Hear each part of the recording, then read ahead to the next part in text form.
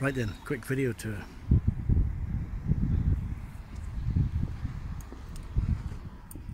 Three keys. Uh, that's for the water, which is here. Fuel. Gas.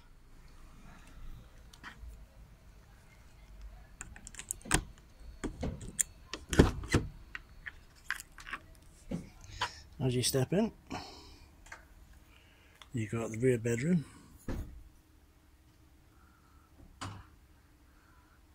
Light switch for the rear bedroom, lights electricity's off. Water pump, light switch for the bathroom. Uh, there's a bathroom, it's huge. There's the hot water boiler, shower head, um, there's a mount there so you can use it for the sink and also a mount there so you can use it as that's the shower rail there. Nice big mirror. There's the heater. Let's close this door. There's a heater. It's got three settings one two and three. I've never had it on three because I think it's going to melt the walls. Yeah it really does get toasty. Um, the table sets um, two seats here. There comes a twin I bought these to put on the coach. Um, the other seat there was a twin. I've still got the other one. So if you want to make it two you can put them back I suppose. I did it to one because it's easier to walk past. That's the only reason. Uh, table's removable. Mounts to the wall and there's a folding leg there. It slots in behind the seats. Uh, TV there's a drop down bed. There's a head height. Let's try and give you an idea of head height. I mean, about seven foot. I mean, it's absolutely massive. That's my, must be reaching up. I can just touch the skylight.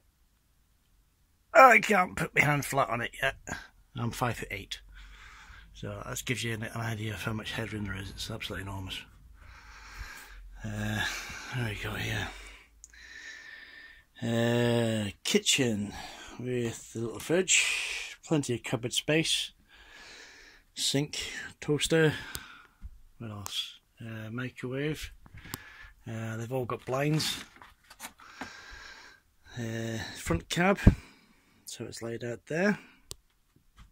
It's very comfy. It's like driving a big car actually.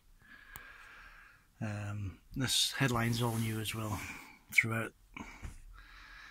Um, this I put this in. I mean, this is just temporary It's to hold the net curtain here for a bit of privacy because the bed, there's a bed that goes across here. Um, it's just a sprung loaded thing, you can take it off if you want. Um, front seats here. Um, I mean, yeah, I mean that step is huge. Let's have a look. That's how big that step is, and I'm still not even touching the ceiling with my head. Right. This seat swivels. There's a handle there, so you can swivel the seat round. Locks into place. Um, let's start the fire up.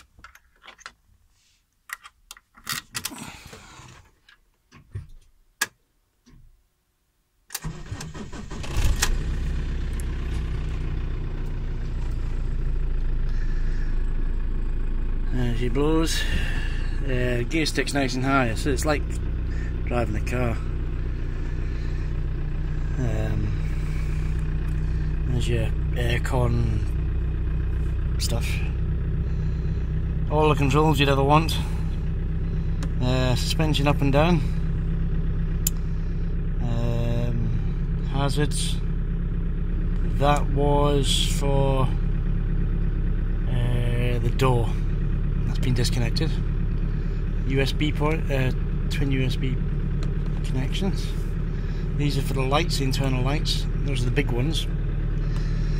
Um, sunroof front and back. That's the compressor for the aircon. That's the boot latch release. Uh, that's for the light inside the boot. And that's a reversing horn. Obviously, don't put that on. Um, talking of horns, uh, the original horn that this comes with is pretty puny. So I put a train horn on this, and uh, believe me, when you toot that thing, people get out of the way. But it's quite comfy.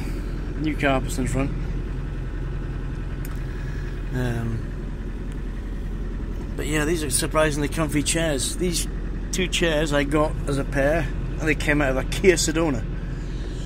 But you know, they're comfy, um, and they do they fold flat, and there's a tray on the top. Um, but when these both fall flat, the, the, the single bed goes across here. Um,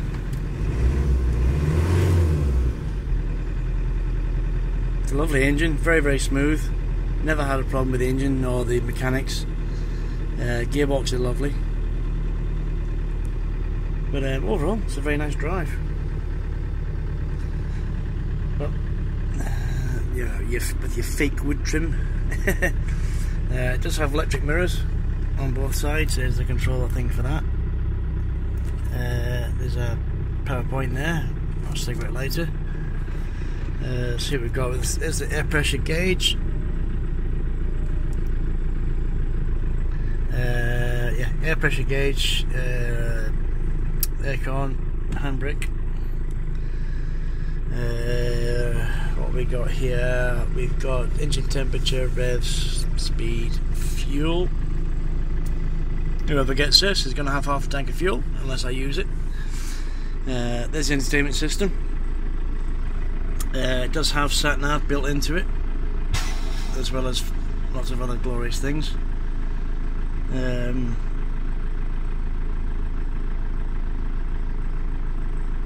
it's got a remote control as well. Don't ask me why a car stereo thing has got remote control, but you know, crackers really is. But Satnav's quite good. Uh, what else is there to say?